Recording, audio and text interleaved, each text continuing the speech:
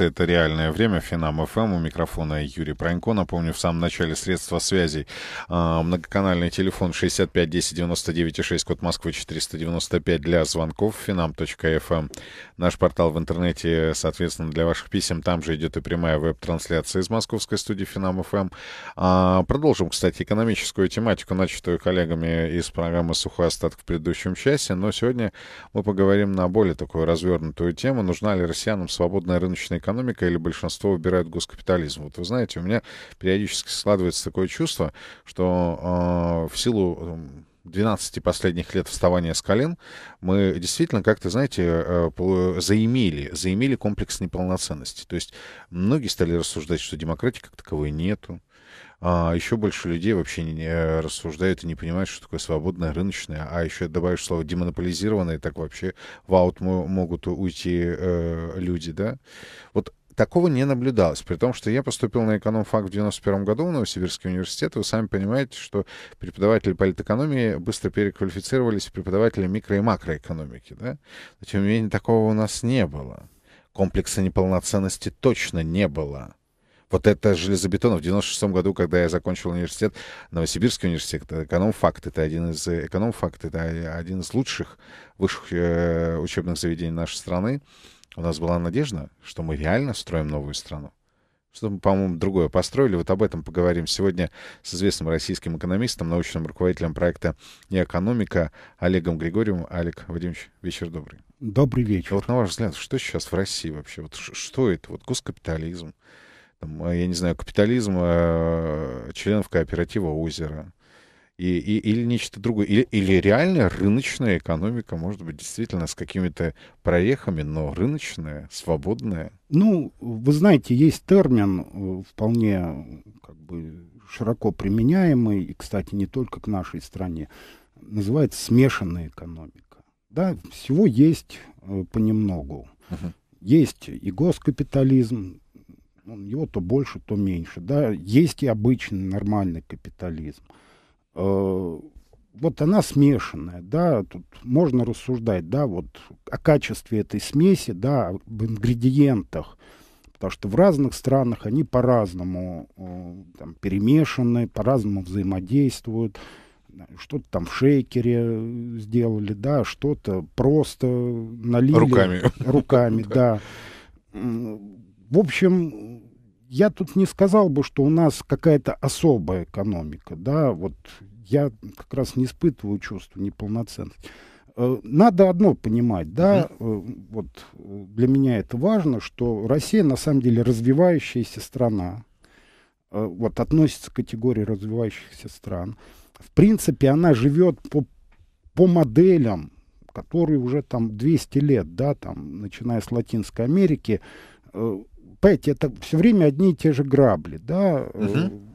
Это проблема, да, но это не проблема, это проблема развивающихся стран.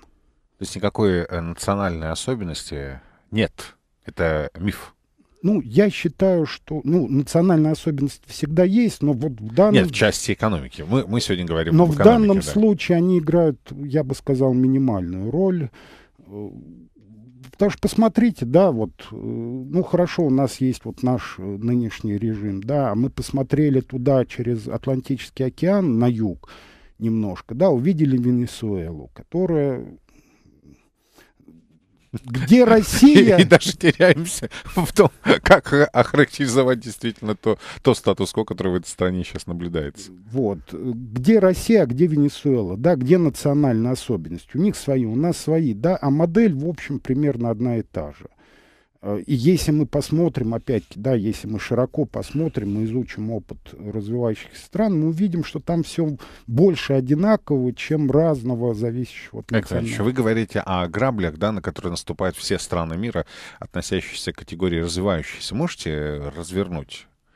чтобы мы все понимали, о чем идет речь. Что это за грабли, на которые мы уже точно наступили?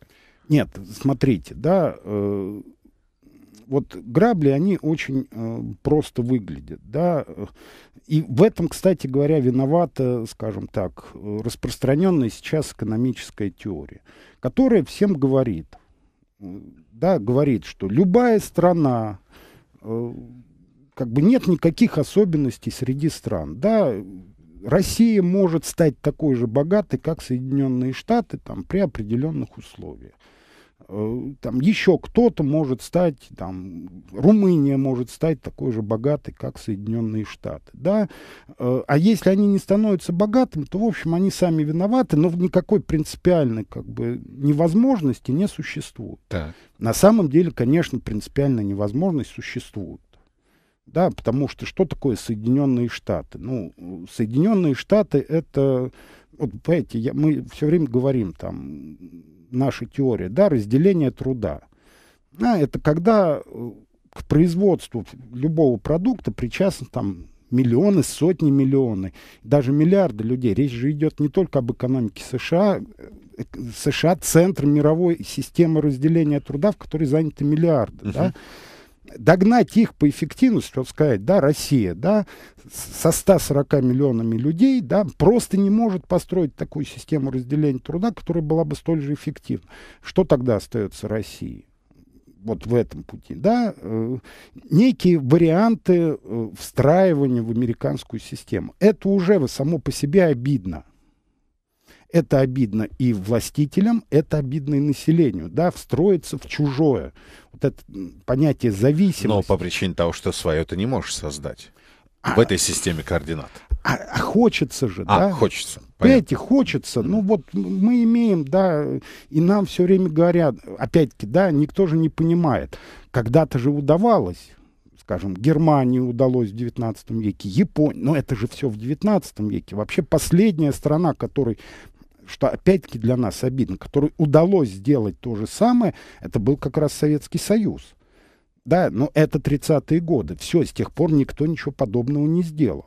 Uh-huh. То есть вот не сумел, да, догнать там, ну, Советский Союз все равно не сумел догнать, да, но очень Попытка сильно, была. но очень сильно приблизился. Uh-huh.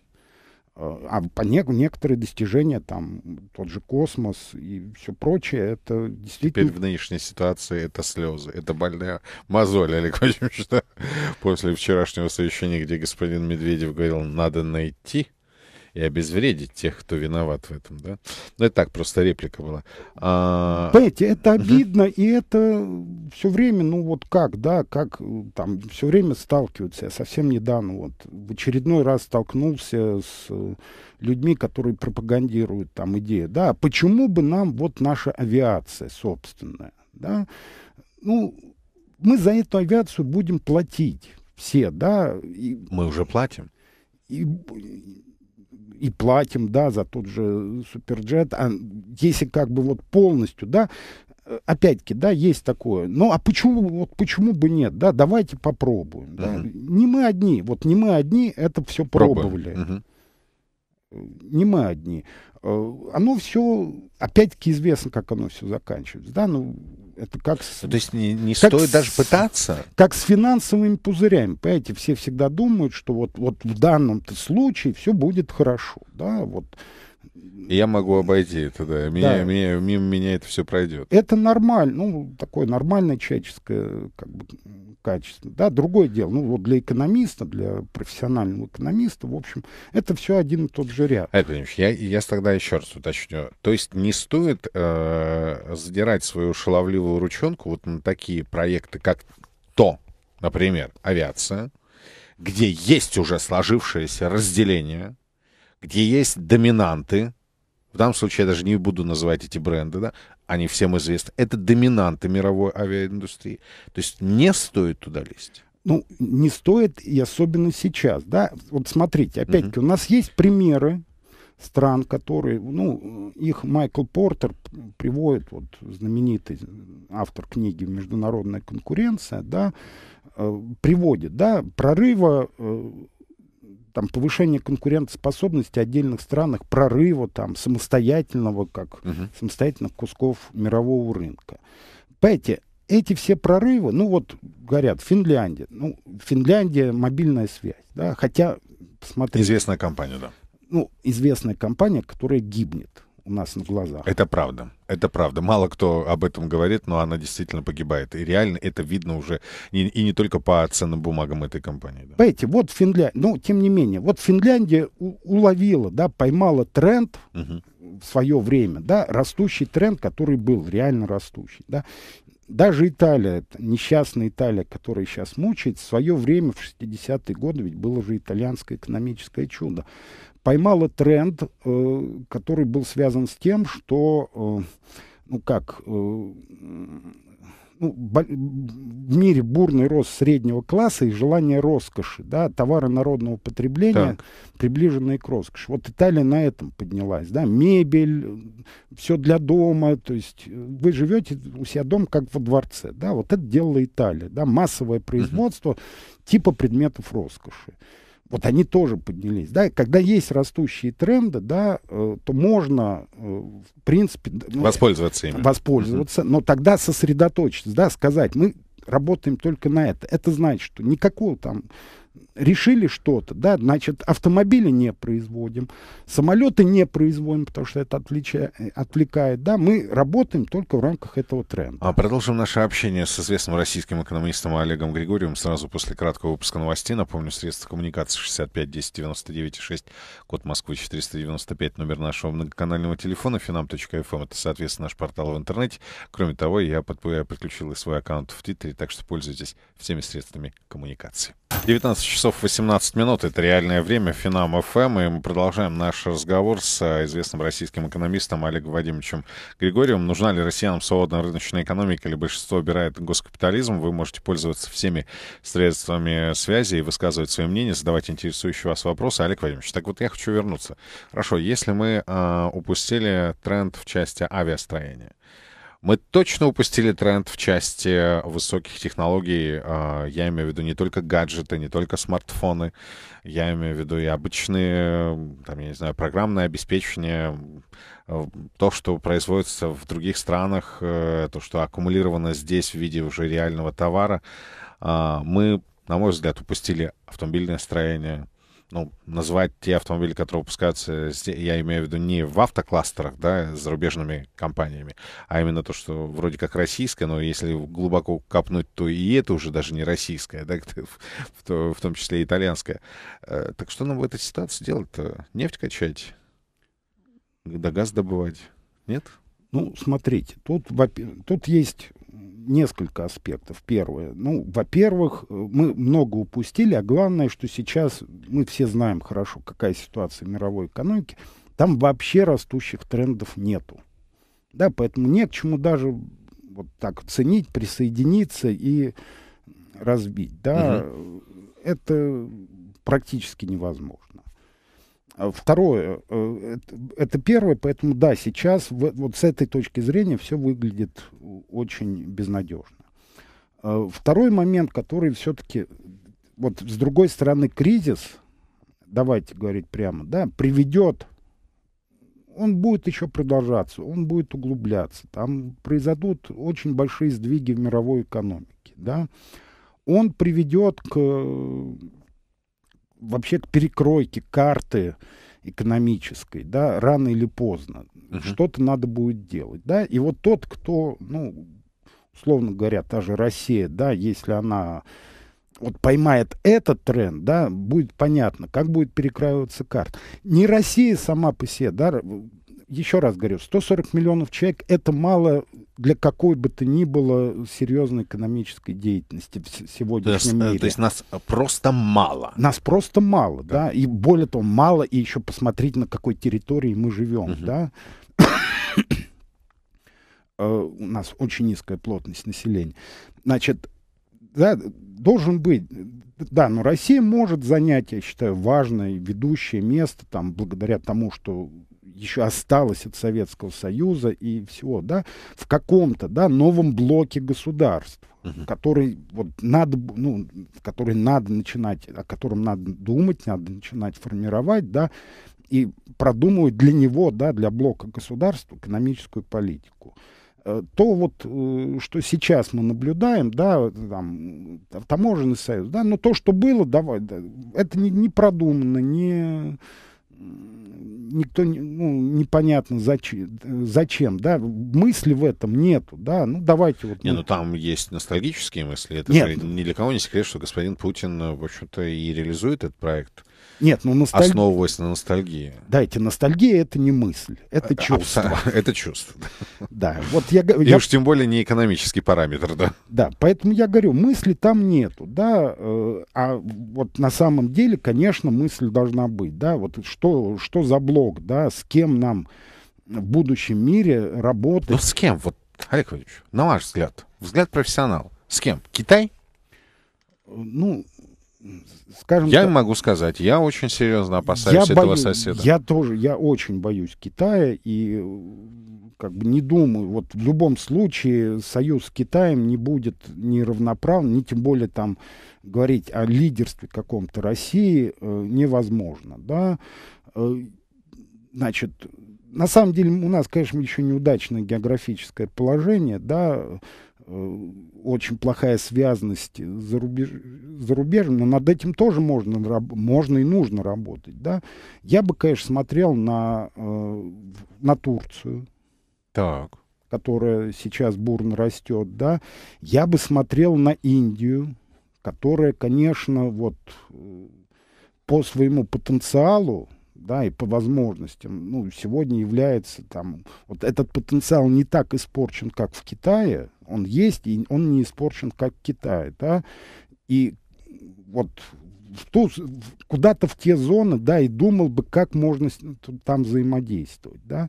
Э, еще раз повторяю, вот там, да, лежат резервы нового роста, нового э, развития, uh-huh в котором мы можем быть полезны. Да, опять-таки у нас сотрудничество с Индией, там старое, древнее, и э, да, мы, мы его, мы сейчас его тоже все время портим там разными там, поставками вооружений да. и так далее, да, но тем не менее, uh-huh. в общем, таких вот противоречий сильных нету, да. Э, вот опять, мне трудно, да, я могу набросать варианты, да, их надо разрабатывать. Но вы почему-то не назвали Европу и вообще вот то, что называется западный мир.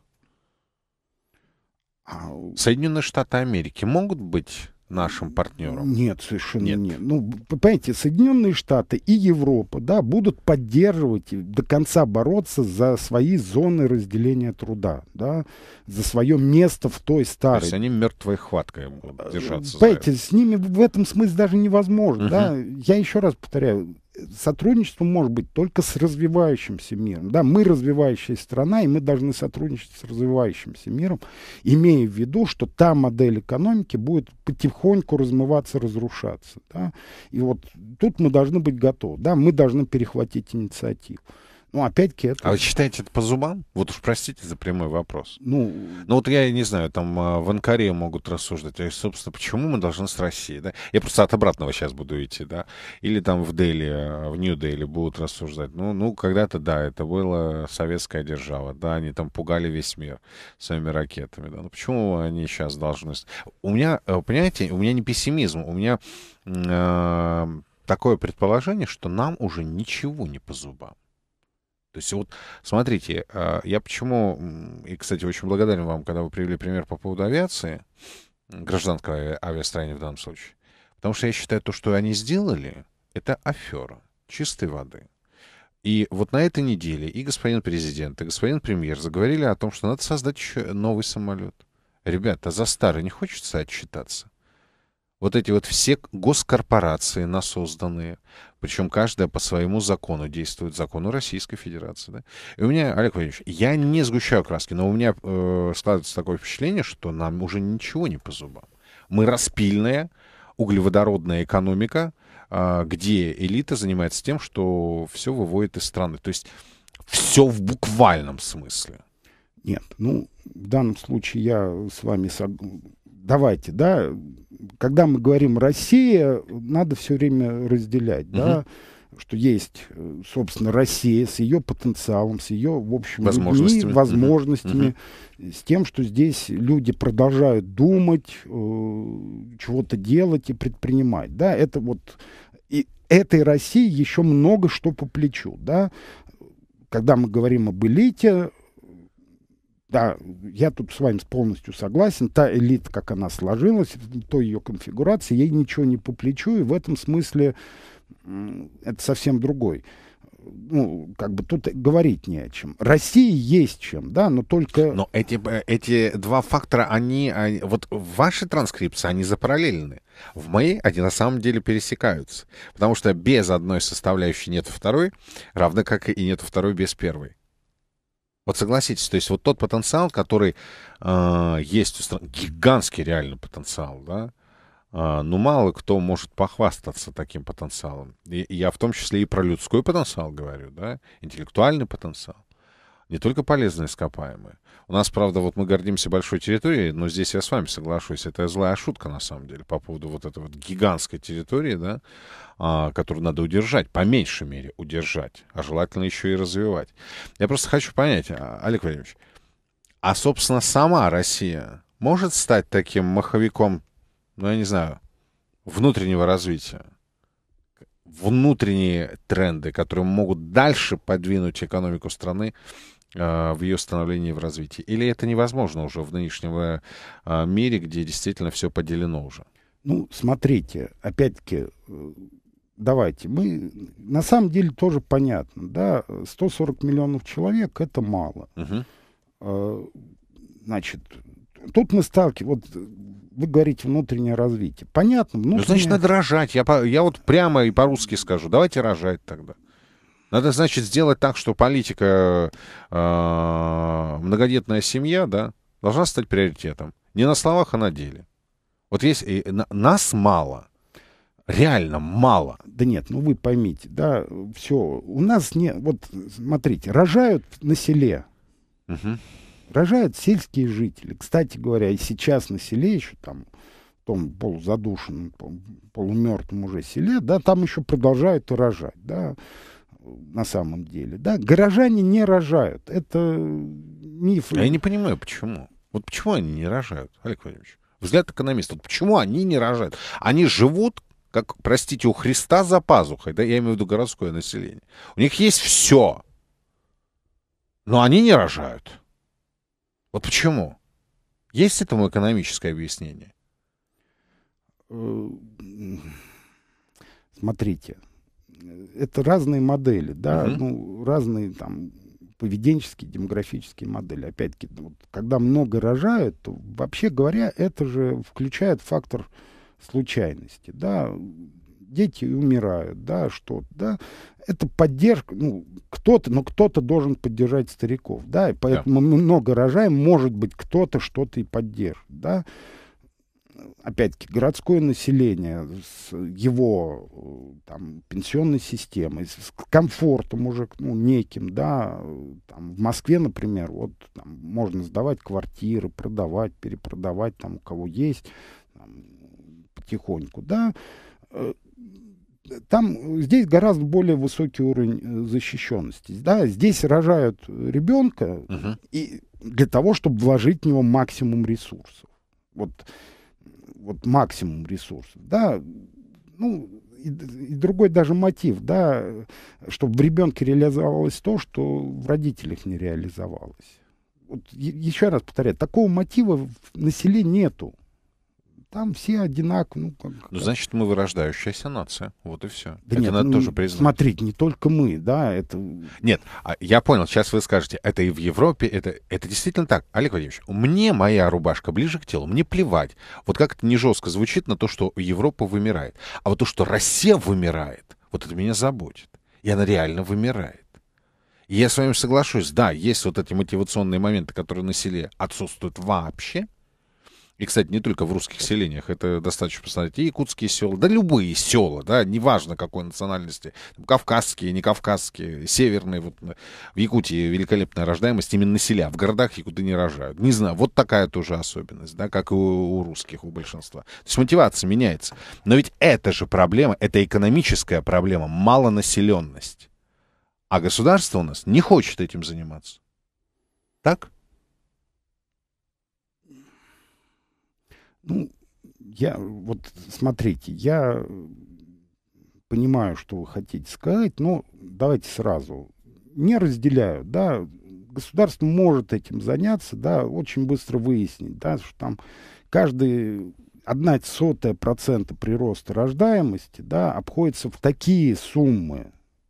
Одна сотая, да, нам, нам нужно сделать... Одна сотая, гигантские деньги нужны. Нужны гигантские деньги, так. да, а нам нужно реально, как бы там, поднять рождаемость в разы, Продолжим, простите. Сейчас а мы прервемся, да, и продолжим наш э, дискус с Олегом Григорьевым э, сразу после краткого выпуска новостей. 19 часов 33 минуты в российской столице. Реальное время. Финам ФМ. У меня сегодня в гостях один из самых известных российских экономистов Олег Григорьев. А, мы обсуждаем тему все-таки нашего с вами развития. 65 10 99 6, код Москвы 495 э, для телефонных звонков. Финам.фм это наш портал в интернете для ваших писем. Там же идет прямая веб-трансляция. Можете пользоваться и моим аккаунтом, а, личным аккаунтом в Твиттере. Олег Владимирович, ну так вот мы договорились. Хорошо. Я с вами могу согласиться. Как вы говорите, одна там еди... десятая или сотая да, единица, значит, она подразумевает необходимость инвестирования. Это фактически инвестирование государственных денег, да. Но, но, но а что является тогда альтернативой? Ну, давайте, я произнесу да. страшное слово, наверное, да, судя по всему. Э, миграция. Ну, мы идем по этому пути стихийно.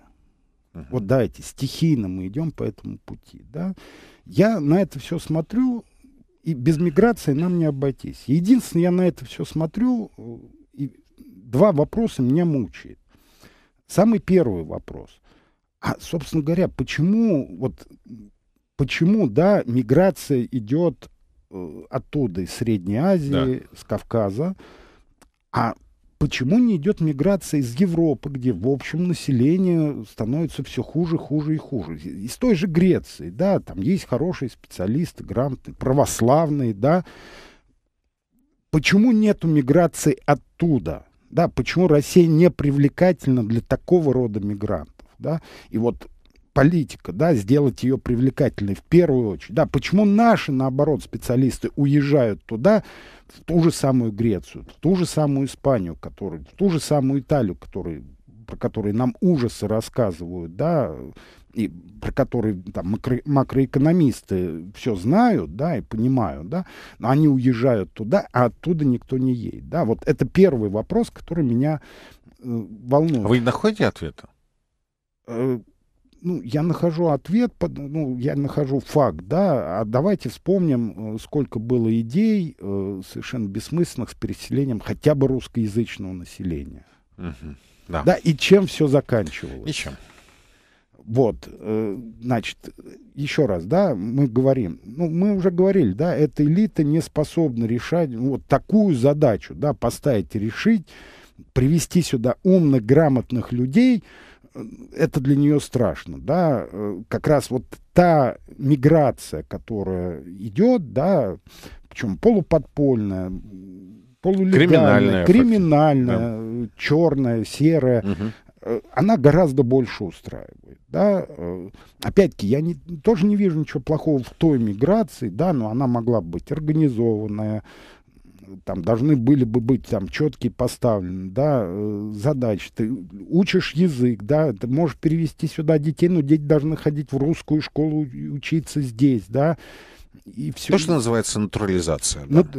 проводить нормальную натурализацию, угу. да, без вот того, что сейчас происходит.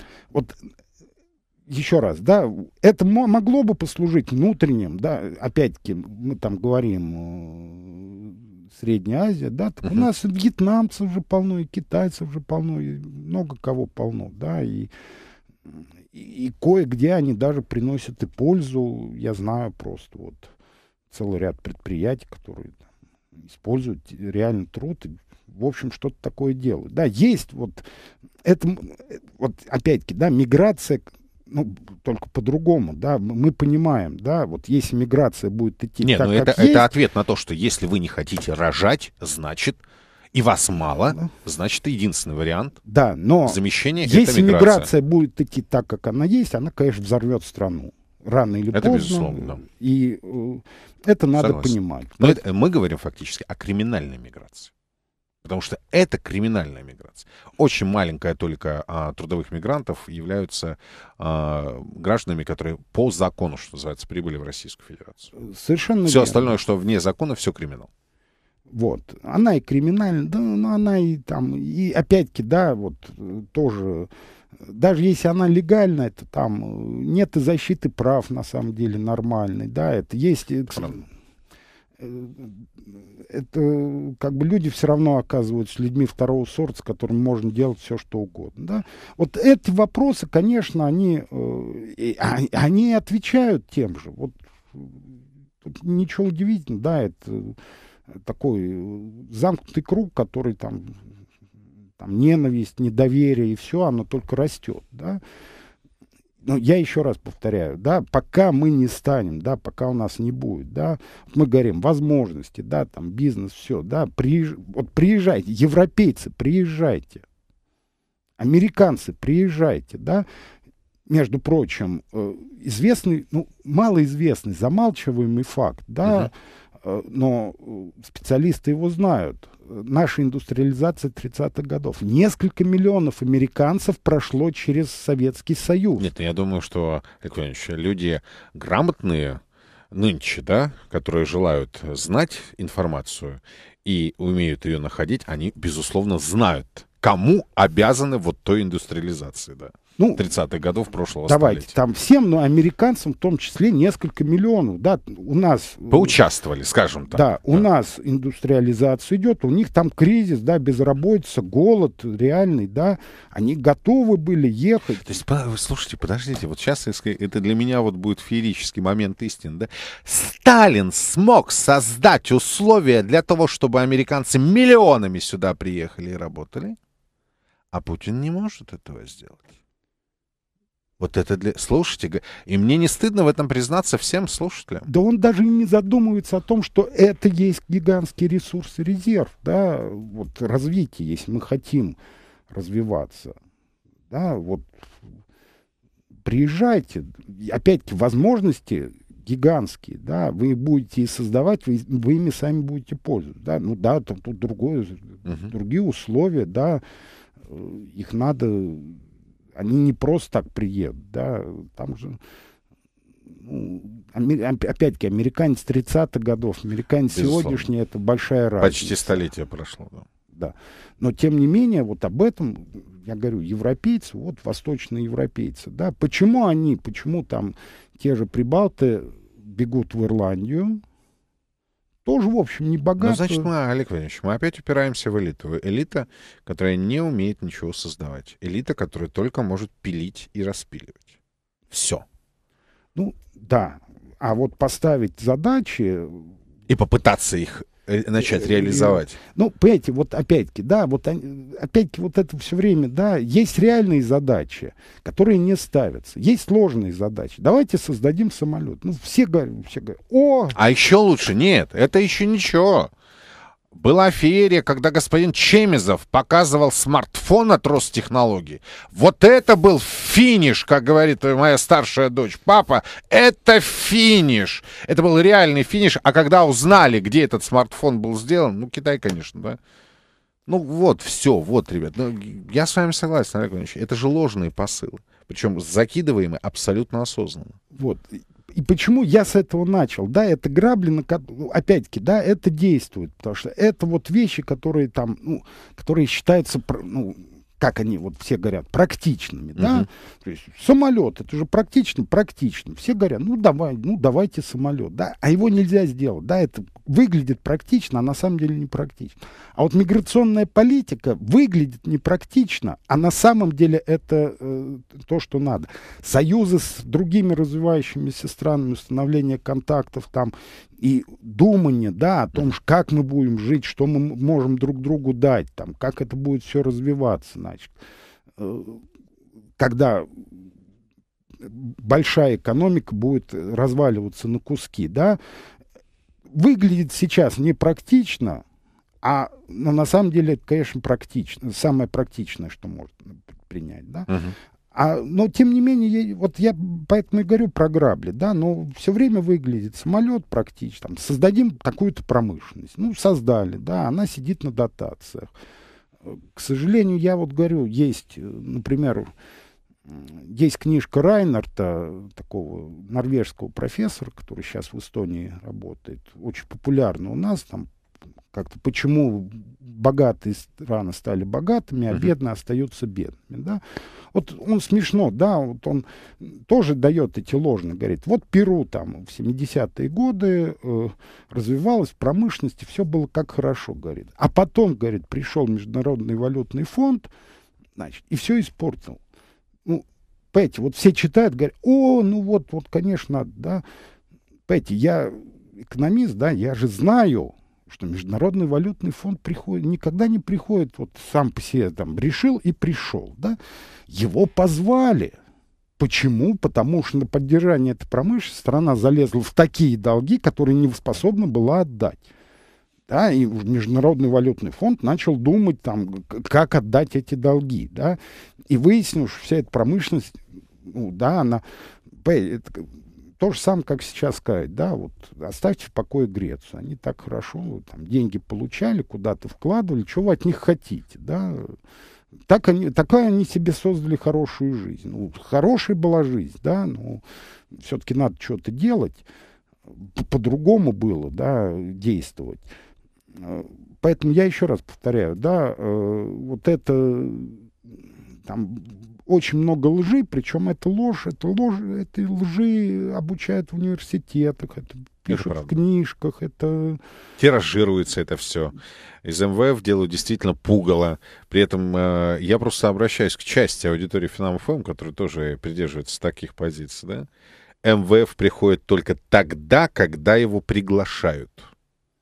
А это значит, что в экономике уже полный экран. Вот смотрите, да. Полный швах то, что мы сейчас видим в Европе, да, Испания, уже которые там два месяца все горят, да, обратиться за помощью к европейским фондам или не обратиться, да, почему, с одной стороны, деньги нужны, да, с другой стороны, испанцы понимают, обратятся, им выставят условия. Да. Да, и вот они уже два месяца, вот каждый день, да, читаешь новости там, будем обращаться, потом не будем обращаться, будем обращаться, не будем обращаться, так все лихорадит, лихорадит, да, вот значит, либо, ну, надо обращаться, да, но мы понимаем, что вот модель с МВФ точно такая же, да, вы загубили свою экономику, МВФ может быть и не прав, да, давай, да, МВФ может быть и не прав, да, МВФ пользуется тем, что он дает деньги, значит, заказывает музыку. Конечно. Да? Ну, значит, вам на, до этого надо было быть предусмотрительным. Ну, так разрушали-то вы экономику без Международного валютного фонда, Совершенно да? верно. Прервемся на краткий выпуск новостей, затем ваши звонки и письма известному российскому экономисту Олегу Григорьеву, который сегодня в реальном времени на Финам ФМ. 19.47, это реальное время, Финам ФМ, меня зовут Юрий Пронько, и сегодня у меня в гостях э, известный российский экономист Олег э, Вадимович Григорьев. А, звоните на 65 10 99 6, код Москвы 495, пишите на finam.fm, там идет и прямая веб-трансляция. Пользуйтесь моим личным аккаунтом в э, Твиттере.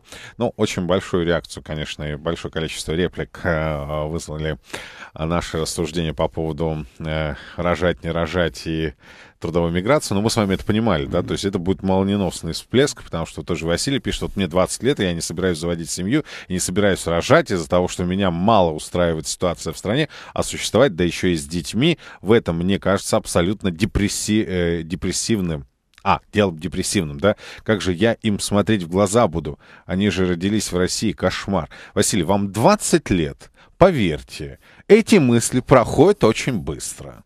Со временем Просто достаточно встретить любимую женщину, как вы сами не заметите, появится первый, второй, и дай бог, третий, четвертый и, и пятый. Ну, это просто... А на самом деле, на полном серьезе, а, Олег Ильич, очень много реплик, связанных именно с тем, что как гастарбайтеров можно э, приглашать в страну, почему гастарбайтерам разрешают приезжать в страну. Ну, то есть, видите, на самом деле антагонизм к этой теме есть в обществе. А я сказал страшно, я, я же сразу сказал, да. я произнесу страшное слово «миграция» попытался максимально смягчить, но я понимаю, вот я же сказал, и опять-таки сказал, да, эта тема взорвет страну. Нет, и надо понимать, что есть криминальная власть, по крайней мере, те, кто дают разрешение на вот эту, на приезд этих людей.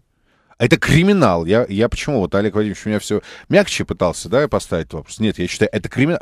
Все, что нарушает закон, это криминал.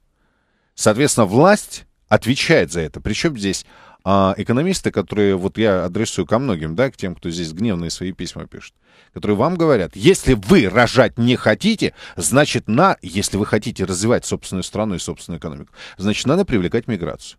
И я прошу заметить, что господин Григорьев сказал, хотелось бы иметь мигрантов, в том числе из Европы, из Соединенных Штатов, но для этого надо создать условия. Как это ни странно звучит из уст либерала Пронько, Сталин создал условия, Путин нет. Вот и все.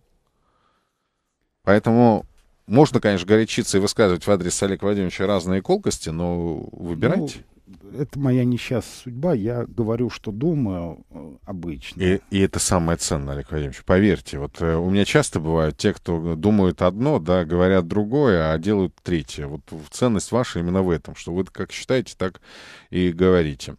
Добрый вечер, в эфире. Как вас зовут? Алло. Здравствуйте, Валерий. Да, Валерий. Для начала маленькое замечание. Юрий, вы пытаетесь, зря пытаетесь э, экономическими э, средствами объяснить рождаемость. Это вам надо антропологов спросить, они вам все объяснят подробно. Это нормально совершенно. У меня вот какой вопрос. Нормально, что не рожаем? А, да, то, что не рожаем, это нормально совершенно. Это вам антропологи объяснят, если вам интересно. Uh-huh. Но никак не экономисты.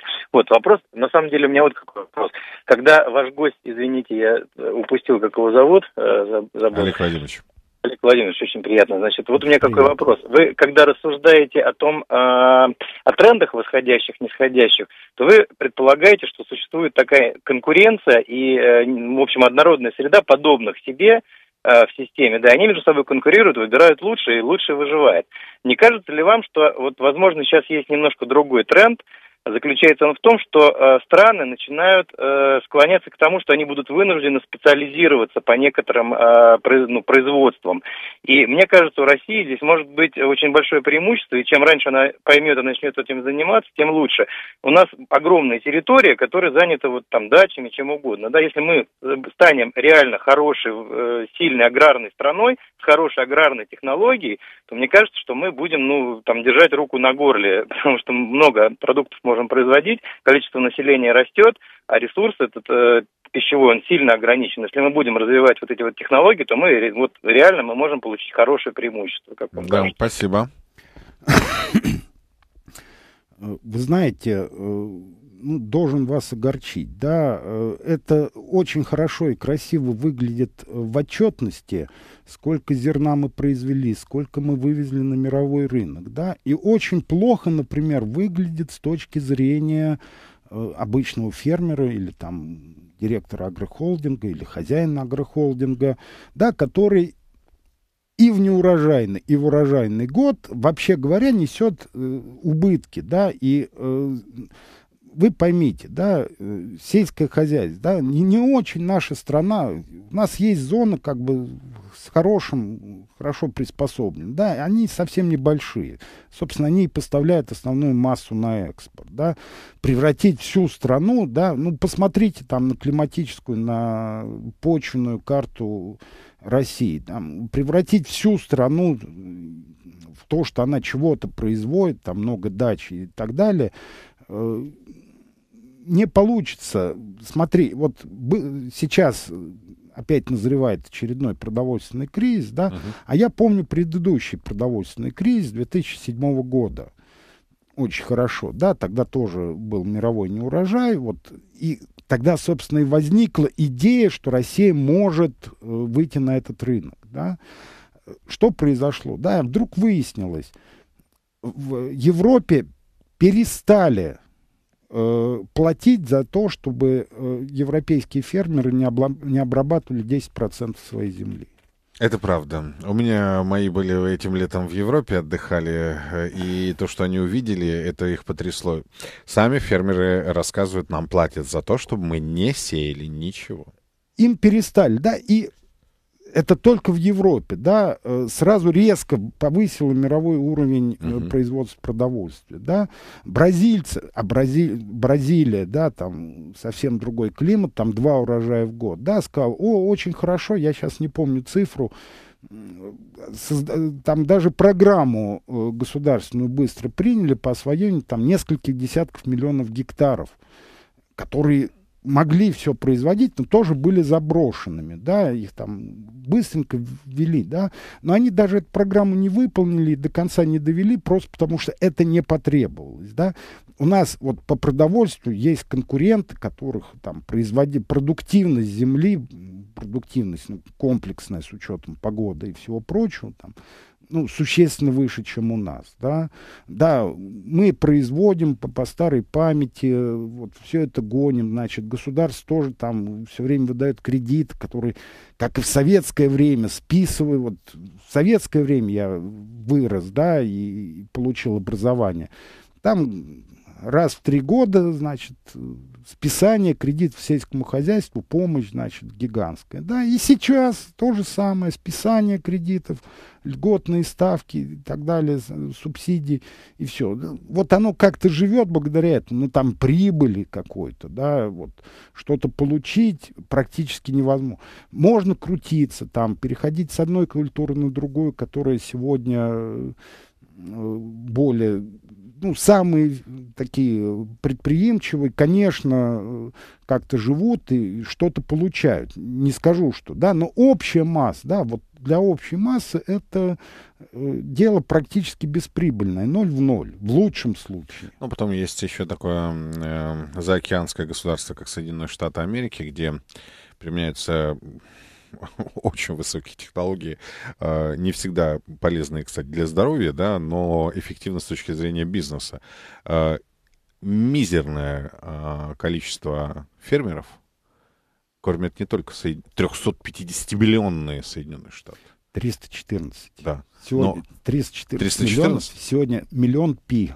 Да. Они объявили миллион пи ну населения. Вот, а, значит, и плюс другие страны в том числе и Российскую Федерацию. Ну, давайте, малое количество фермеров, это не значит, да, там на сельское хозяйство, вот мы говорили, да, разделение труда. На самом деле на сельское хозяйство работают миллионы, причем не только американцев, а по всему миру, да, просто вот конечные, да, фермеры, uh-huh. их совсем немного, а на них, да, их много, потому что на них работают миллионы, там, Но сотни. нечто подобное в России возможно? Нет, невозможно. У нас нет этих сотен миллионов. Совершенно Вы в эфире, как вас зовут? Добрый вечер. Добрый вечер, Павел. Э, вам и Олегу Григорьевичу добрый вечер и всего самого доброго. Спасибо, Юра. Э, вот после господина Орешкина еще один весьма-весьма-весьма адекватный э, участник вашего диалога. Хочу поддержать предыдущего звонившего и сказать о том, что, может быть, не стоит строить э, пассажирские самолеты на базе, которая производила самые лучшие в мире истребители, я имею в виду о сухом, да, и не стоит изобретать э, автомобили на базе ВАЗа после всего э, того, что уже мир придумал. Может, действительно стоит посмотреть на сельское хозяйство. Вот единственный восходящий тренд, на мой э, абсолютно ну, дилетантский взгляд, но единственный восходящий тренд в мире – это потребление продуктов питания – мы имеем территории, мы имеем э, адекватный в большинстве э, регионов климат, и мы имеем еще не до конца убитое сельское население, которому немножко нужно помочь. Ну, 10% от стоимости э, суперджета, да? И этого будет достаточно, нет? Спасибо. Ну, ну, я отчасти ответил, да, еще раз, понимаете, вот это такое... Нет, рынки сбыта. Вот а, а, ответ на вопрос. Рынки сбыта где? Вот благодаря российскому государству, э, в связи с известными событиями засухи и так далее, да, у нас был отменен экспорт зерновых. Ну, это, понимаете, вот это... Собственными руками угробили это безоб... те рынки, да. Это безобразие, конечно, ну, вполне в духе. Это вот а духе... ну, это, понимаете, это характеризует нынешнее статус-кво. Из ничего не бывает чего-то. Вот такая власть, вот такая элита. Знаете, я много, у меня много знакомых в Ростовской области, они говорили, смешно, мы же, вот когда я говорю, есть несколько регионов приспособленных, в частности, конечно, Ростовская область, да, у них же не было засухи, да, более того, им некуда больше вести зерно, кроме как за границу, да, да а им запретили, то есть вот это как, это судьба фермеров на самом деле. Урожай они плачут, не урожай они рыдают. Олег 30 секунд у нас всего, да, а, сельское хозяйство не вариант. Я правильно вас понял? Это не тот восходящий... Вы знаете, тренд. надо думать. Угу. Никогда ничего нельзя отвергать. Надо думать. Над всеми вариантами надо думать, да, но их прорабатывать очень тщательно, да, вот так просто ткнуть туда-сюда, вот у нас правительство этим занимается, туда-сюда тыкает, с известными результатами. Ну ладно бы они тыкали, они еще же сотни миллиардов туда втыкают. Ну, я даже не знаю, как правильно, правильно сказать. Осваивают. Поэтому я говорю, думать ничего не исключая, ничего не исключая. Я вот сразу просто говорю, как бы на какие вопросы угу. мне надо ответить, да. Э, если сможете ответить, я вот скажу, молодцы, все, я за. Вот сельское хозяйство, к сельское хозяйство убедили. Меня очень легко убедить с хорошими аргументами. Спасибо огромное. Я, э, это была наша с вами первая встреча, надеюсь, далеко не последняя. А экономист Олег Григорьев был сегодня в реальном времени на Финам ФМ. Далее новости.